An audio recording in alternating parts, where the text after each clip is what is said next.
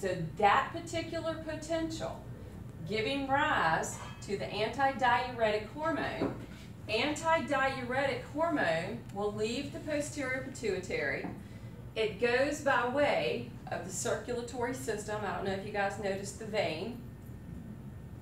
Uh, well, the blood supply. Okay, I don't know if y'all saw the blood supply. But it's going to travel into the bloodstream. Now, the target tissue is the kidneys. So for this hormone, the target tissue is going to be the kidneys. So that ADH is going to act on the kidney and what it needs to do, make sure that that kidney conserves water, okay? So as the kidney carries out its functions, it will reduce urine volume, it will increase the osmolality, picking up of the little electrolytes and stuff. Therefore, that decreases those little electrolyte numbers in the blood, all right? And that holding on to the water and returning it to the system increases our blood volume. And if we can increase blood volume, we should increase our blood pressure.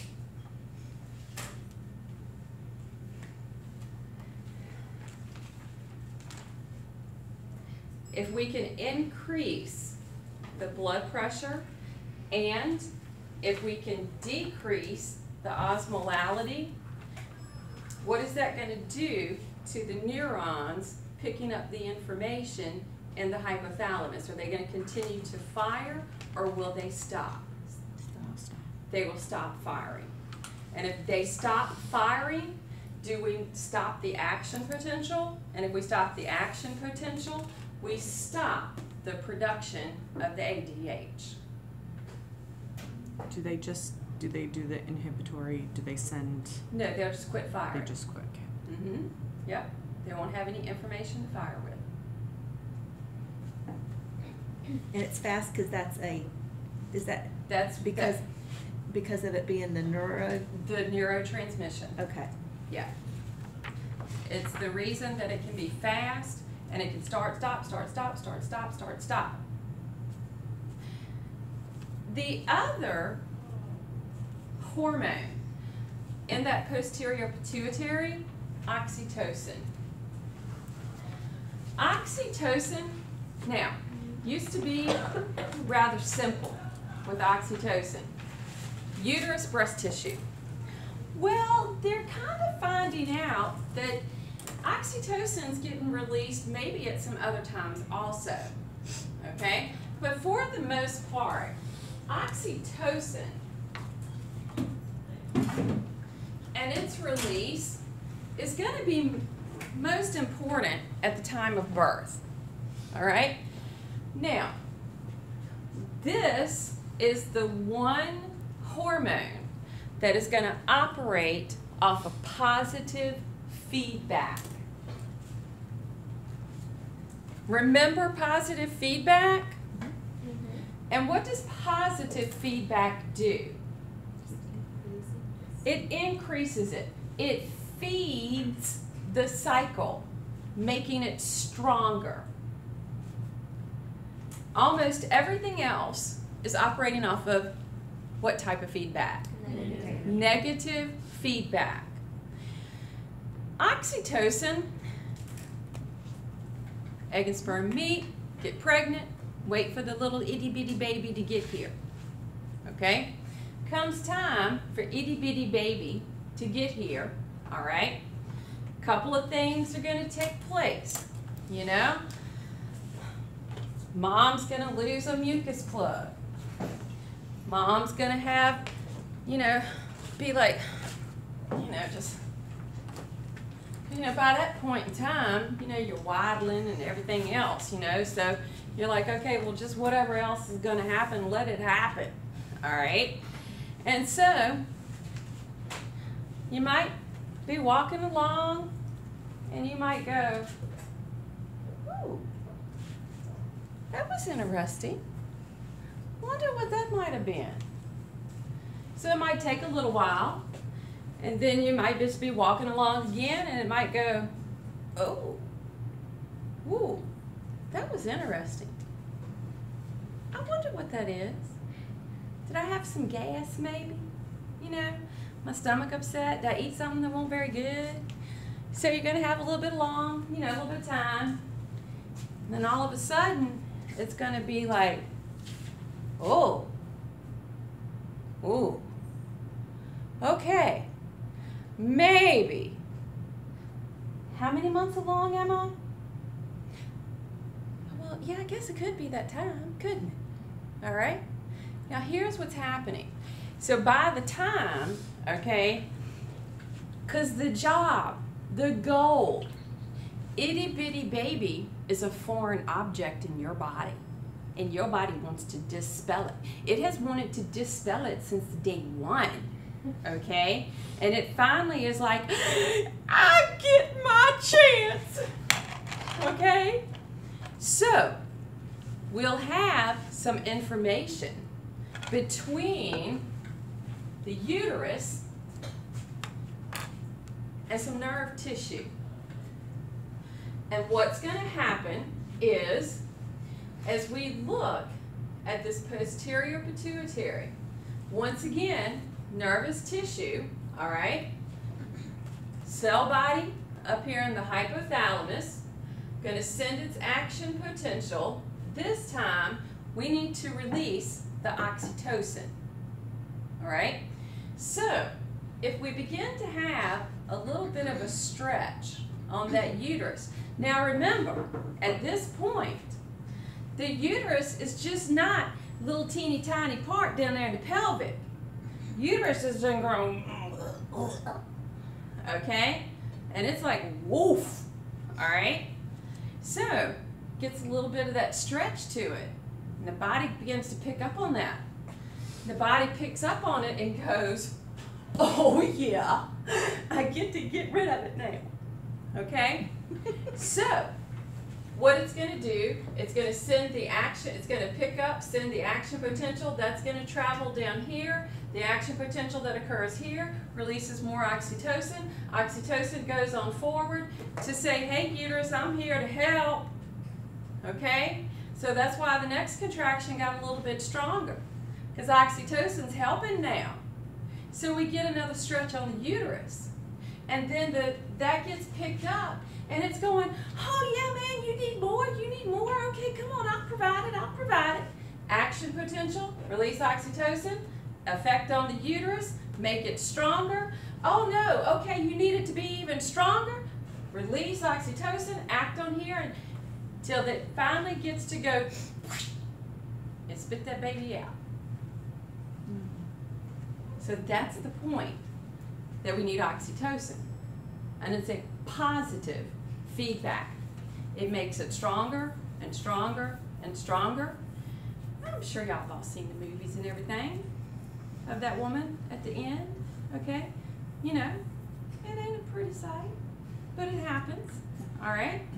Now, the next thing that we're going to see for oxytocin, because egg and sperm meet, fertilization occurs, if the little baby tries, you know, if the body tries to expel itty bitty baby that's going to grow, but it doesn't succeed, that means mom needs to get ready to feed it. All right? So the next thing it'll affect is going to be the breast. Okay? So it will begin to start acting upon the breast so that we can have the food for the baby. So in the biggest function of oxytocin, it is to help with the childbirth and feeding itty bitty baby after it gets here.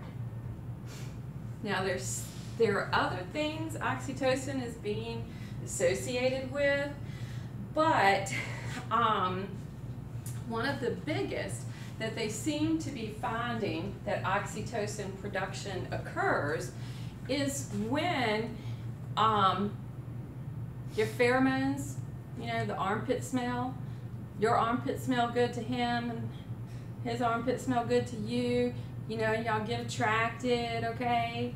And so from there, you kind of like, you know, they say it gets produced like when you see them, when you kiss them, and other things happen and that sort of thing.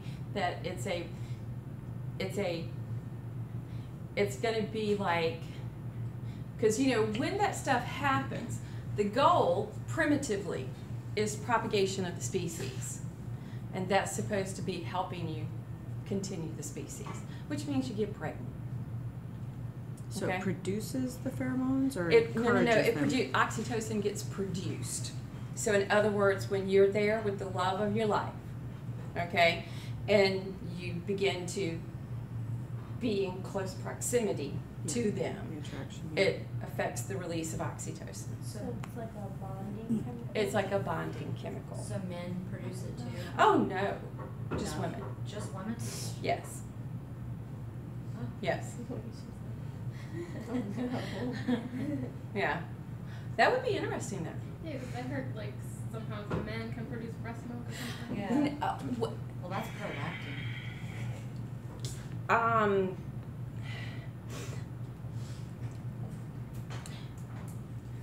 Very special stuff is occurring in the body for that. Um, and there are different things that'll actually affect that production. But a lot of it is going to be focused more on the hormones that are in the anterior pituitary in the man. And cellular production can go completely haywire when that occurs. So now, that's our posterior pituitary. Oxytocin, antidiuretic hormone. Now let's look at some of the fun stuff. The pituitary hormones. Remember, releasing as well as inhibiting. All right? Now,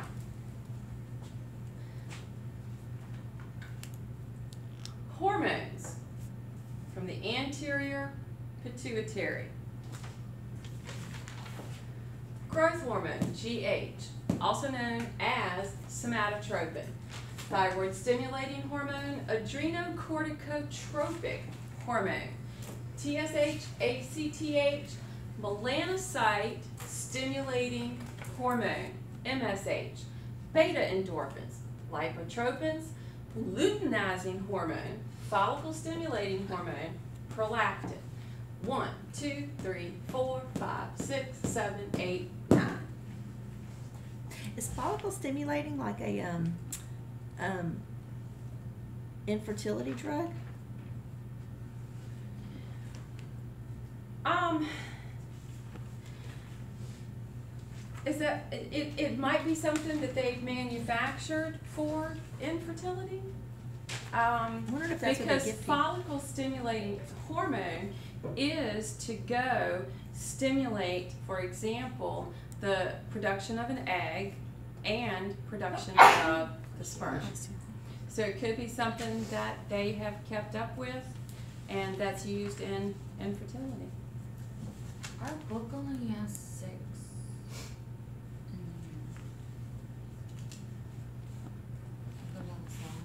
Yes. Um, this is just one chapter, I just don't agree with everything in the book, Yeah. which is why I am letting you know, okay, start at this page, but don't forget what I have on my slides also.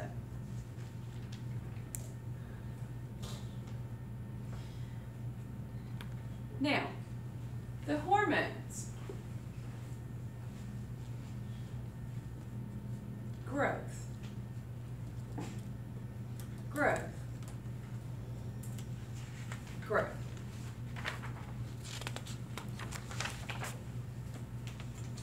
When do we need it? Um, Puberty, childhood. childhood. Why? Baby growth. Itty bitty baby's gotta grow. Embryonic stage. Huh? When you're an embryo. Have you ever thought about growth hormone? Yes. Why? Um, I read a book and it was talking about